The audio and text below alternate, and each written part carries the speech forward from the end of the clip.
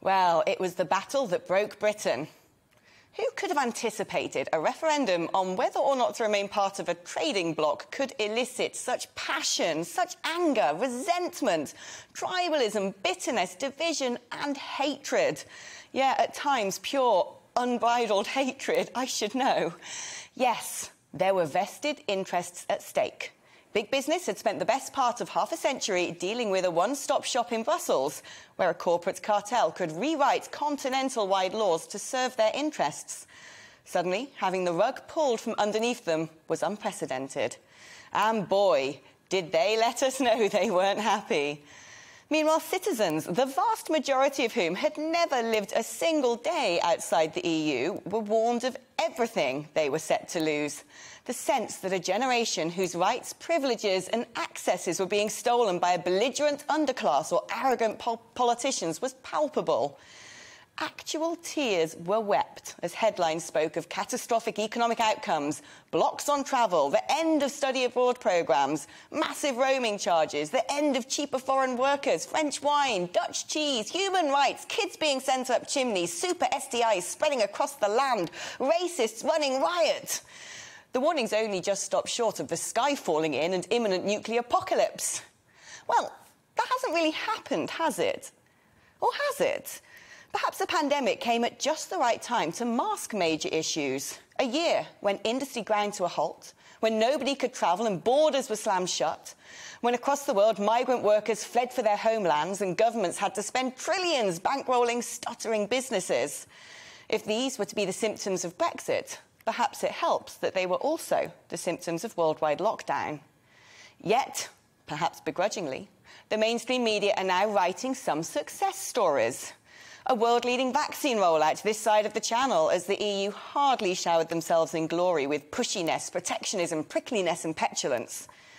Double the number of students enrolling on university exchange programmes despite the pandemic as the UK's new global Turing scheme replaces the EU's Erasmus one, adding Anglophone institutions across the world, taking the number of possible countries from 37 to 150 massive injections of taxpayer cash incentivising the car industry to meet 21st century demands with electric battery megafactories, having been told it would all but collapse once just in time supply chains were disrupted.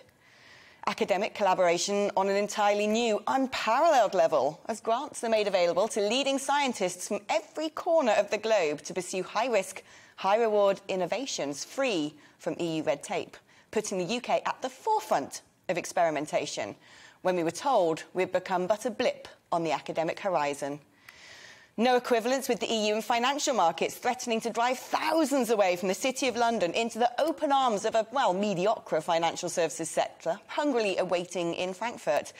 Yet the reverse is starting to happen as the UK positions itself ready to pip Wall Street to the top of the global pile.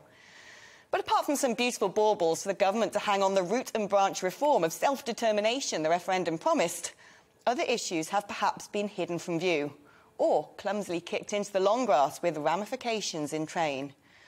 We never really took back control of our waters, an oft made pledge by sou'wester donning MPs who haven't dared set foot in a seaside town since.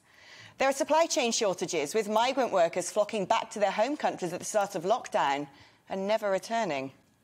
The lowest paid jobs are now having to put up salaries to eye watering levels simply to attract the domestic workforce. A good thing if you're a worker, but perhaps bad news for employers, depending which way you look at the situation. The tatters of a brutal blackmail over Northern Ireland as Boris's oven ready deal turned out to contain all of the unhealthy ingredients and EU donkey meat he had vociferously opposed under his predecessor, Theresa May, brushed under the carpet to manage at some point in the future, leaving the UK vulnerable to a mercurial EU's demands under their cynically strategic sword of Damocles. For some, our regulatory orbit around Brussels is still too close, with an unbroken umbilical cord stretching across the channel that could easily be used to drag us back in.